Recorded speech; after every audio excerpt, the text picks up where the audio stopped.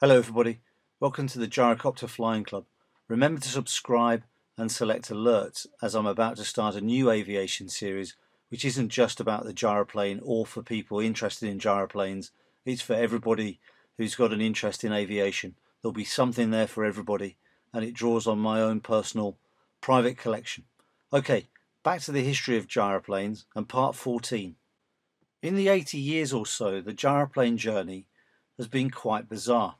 From the initial invention and promotion as the safest form of flight to its complete abandonment post the Second World War for the helicopter, to its invention as a cheap sports aircraft for every man to get airborne, and the general feeling in most clubhouses around the country that a gyroplane equals a death trap. It's quite a remarkable turnaround, especially so with the advance in technology and material science. Still, the outlook was looking improved because finally there had been a recognition that pilot training needed to improve. There was a revised set of airworthiness regulations that meant eyeball engineering, as Peter Lovegrove would call it, would disappear, and there was an ongoing study into gyroplane dynamics, with the initial focus being upon stability and centre line of propeller thrust, as well as the tailplane or stabilizer for our American cousins. By the end of the 1990s, there were, however, two other serious technology demonstrator programs that were based upon the gyroplane. The first by Carter Aviation Technologies, founded in 94 by Jay Carter and Paul Redding, the CarterCopter technology demonstrator first flew in 1998. It was a five-seater with swept wings, powered by a General Motors LS6 automotive V8. Much of the research focused upon mu, which refers to the ratio between the overall airspeed and the speed of the rotor blade tips. In flight, the highest mu achieved by any rotorcraft was the McDonnell XV-1 convertiplane of 0.95.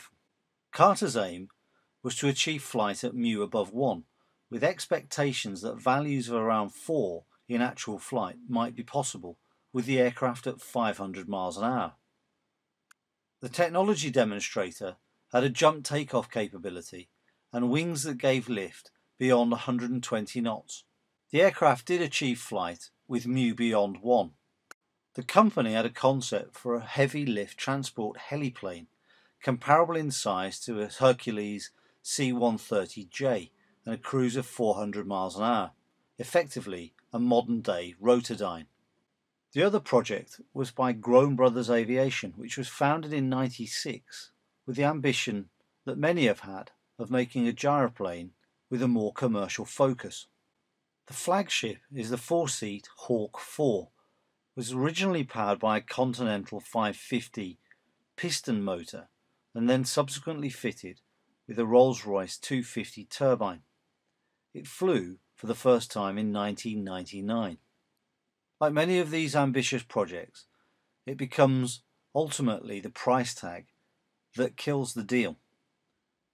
The Hawk 4 ultimately had a price tag of three quarters of a million dollars, and it meant that it never gained sales traction as people just decided they'd rather go and buy a Robinson 44 or R66. They even had a more ambitious program on the drawing board, which was a Lockheed C-130 transport, heavily modified with jet tip driven rotor system, a configuration very reminiscent again of the Fairey Rotodyne. It would retain the C-130 fuselage and wings with the Groen Brothers concept of adding an empennage and four vertical stabilizers and a five blade jet driven rotor head. It was to give what was to be called the C-130 gyro lifter, vertical takeoff and landing ability, with a cruise speed of up to 300 knots over a range of 500 miles. It was in response to a Department of Defense design study concept. However, nothing has been heard of the program since.